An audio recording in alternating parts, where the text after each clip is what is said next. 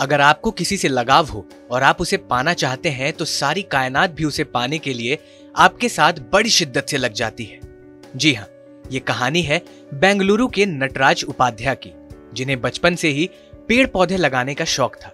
वह जब स्कूल में थे तो वो अपने किसान पिता के साथ पेड़ लगाने जाते थे।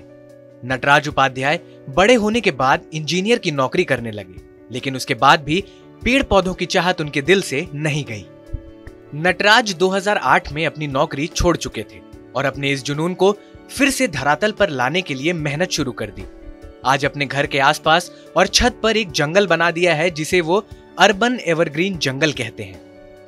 We started doing gardening ground floor but Bangalore started getting heated up because of loss of vegetation it's almost became impossible to sleep in the night because of over heated concrete uh, concrete gets cooled latest earliest by 3 a.m in the morning. So decided to cool the concrete. So started uh, gardening on terrace starting from 2010 once the garden became full in this 1500 square feet that is the time we were concerned about climate change and global warming uh, related issues etc decision was made to make my humble contribution which is given my concrete jungle, i will convert it into a urban evergreen jungle. उनके इन जंगल में पेड़ पौधों की कुल 300 प्रजातियाँ हैं, जिनमें से 50 पेड़ हैं, कम से कम 50 प्रकार की तितलियाँ और 10 प्रकार के पक्षियों ने इस मिनी जंगल का दौरा किया है, जिसमें गिलहरी, चमगादड़ और बंदर भी इस जंगल में आ चुके हैं।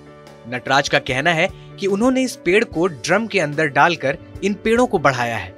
आज हमारे इस जंगल से न सिर्फ़ खूबसूरती बढ़ी है, बल्कि हमारे पर्यावरण में हो रहे पॉल्यूशन को भी कंट्रोल किया जा रहा है। खूबसूरत फूलों से ही आप उनके इन जंगलों की खूबसूरती का अंदाज़ा लगा सकते हैं।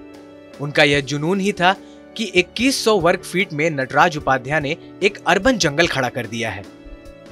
ऐसे ही लोग अपने जुनून के साथ ही देश के लिए अपना कर्तव्य निभाते हैं और साकार करते हैं माई इंडिया माई ड्यूटी ये जानकारी अगर आपको अच्छी लगी हो तो हमें कमेंट सेक्शन में लिखकर ज़रूर बताएँ।